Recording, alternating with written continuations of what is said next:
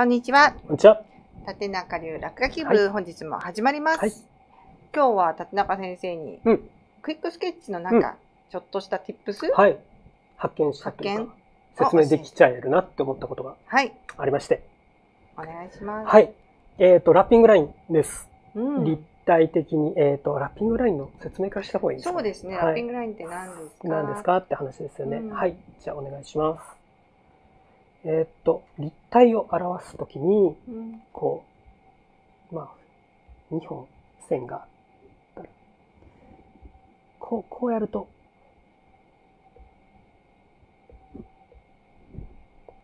膨らんで見えるというか、で、こう逆にすると、うん。こういう、こういう、今書いてる円ですね。え、あと半円というか、カーブを書くと、でまあ、こう、こうやって。そうすると、こう、筒がこちらに、うんはい。筒が、ちょっとこう、ですけど、こちらに、奥行きが生まれると、うんうんで、こちらの、この、このラインのことをですね、ラッピングライン。表面に沿ったはい。ラインっていうことですよね、表面を包むような感じでくるくる書くのでラッはい。ピングライン、呼呼ばれているものです。ね。はい。まあ、これがあると線2本だとぺったんこだったものうん。が急に立体感が出るよはいっていうことで,、よくクックスケッチの tips としておすすめされてるやつですね。で、これを、こう、頑張って書くんじゃなくて、ちゃちゃっと、うんうん。あの、こう、僕がよくやってることなんですけど、それをこう、こういうイメージで書いてます。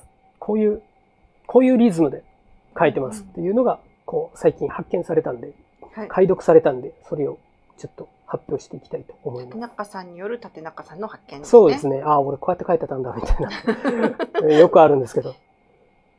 あの、そうですね。えっ、と、ジェストロパーティーで、おこれはゆい先生ですね。そうですね。リース先生の回、先生がモデルの回の、うんその絵なんですけど、はい。で、僕がよくやってるのが、ここういったところですかね。うんあ、アップできないな。えっ、と、こういったところとか、そうですね。こことか、ちょっとわかりづらいですけど、こういったところ、色は、色は、ですかね。こういったところに書いている。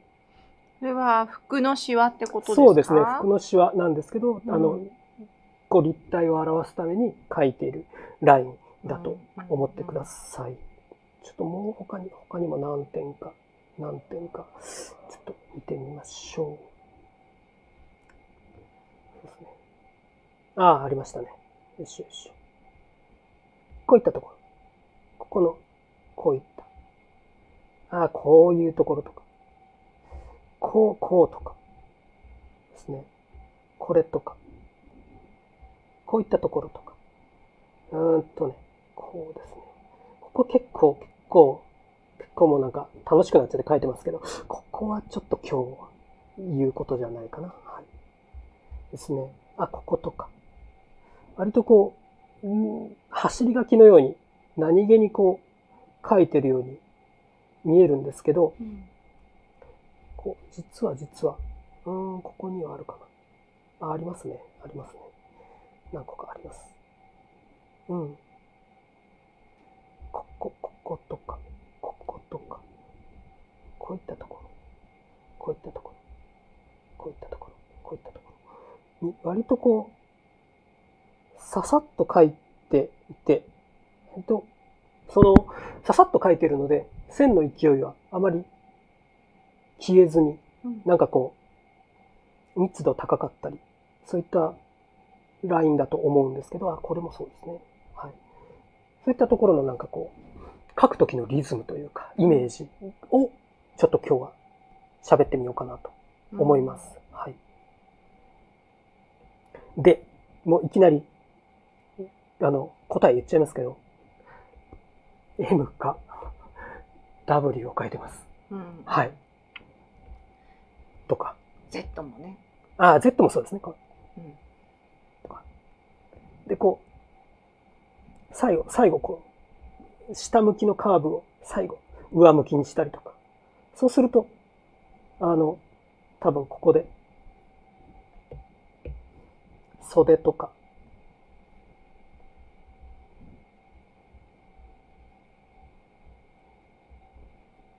膝とかのおおこういった角度の変化角度のが。変化が割と、で、こう、割と、その、なんつうんだろう、軽い、軽い、こう、ドローイングの中でこう、こう、入れる。うーん。で、こう、食のシワのようなところをプッとこう、A、M だとか、理 W にかなだとか。ってるんだ。ただただそこになんだろう、シェーディング的な意味で刺さって入れるんじゃなくって、はい。さっきのラッピングラインの実は円弧と少し、そうです。連続で書いてあげて、ね連続で書いてあげて。はい。で、それの、こう、リズムっていうか、こう、M、もしくは W、それを開いて W、ここ開いて W、で、詰めて詰めてとか、そういうリズムの変化はつけるんですけど、こことかそうですね。あの、こう来て、ここひ広く、で、あと2つ詰めるとか、うん。うん、なんか、なんか、そんな感じでこう、M か W かで。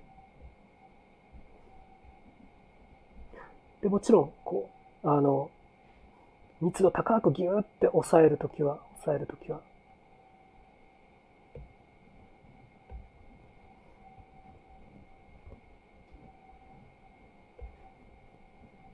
ちょっとこう、間を、もう詰め詰めに詰めてあげて、とか。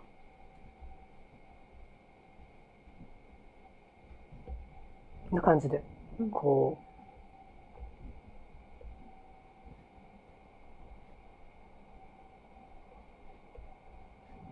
う、なんか、どうしよう。まあ、将棋でも打ちましょうか。こう来て、こう来て、W、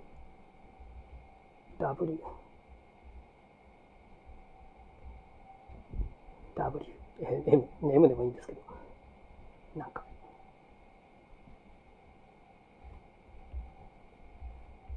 なんか結構ね、あの、普通にラッピングラインってこう、すごく真面目にこう、こう、こう、こう書いてくると、なかなかこう、立体は表現できるんですけど、うん。あの、もう、もう少しこう、有機的にというか、機械的にじゃなくて、もう少しこう、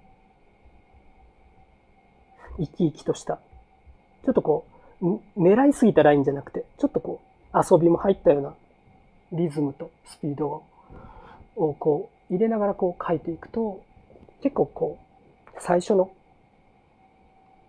短時間のドローイングでも割と生き生きとしたラインが描けるんじゃないかなと思いました。なるほどねそういう発見です、最近の。うんうんまあうんそれもだけど適当に書きすぎてラッピングラインと向きが反対向になっちゃったりとかすると逆にね立体感が損なわれちゃったりとかするからラッピングラインって今日初めて聞いたっていう方はもしかしたらこう丁寧に、うん。あこういう向きかあこんな風にうん感覚を詰めると、うん。こんな角度に見えるのかっていうところから入ってもらった方がもちろんいいと思うんんですけれども、ある程度慣れてきてね、うん。うん。あのこのラッピングライン一回一回この丁寧さで書くのかっていうぐらいのところに行った時には今のお試しあれっ感じとやってみるでと。面白いんじゃないかな。と思いました。でもいい。ですよ。うん全然あのライセンスは皆さんのところにあの最初からあるので もう本当にいつからじゃあ竹中さんみたいにやってみようっていうのも、やってみようって思ったらやってみてください。はい。うん。では本日もはい中流をご覧いただきありがとうござありがいました。とうございました。中さんもありがとうございました。はいまた来週、はい。縦長流でお会いしましょう。さよなら。バイバイ。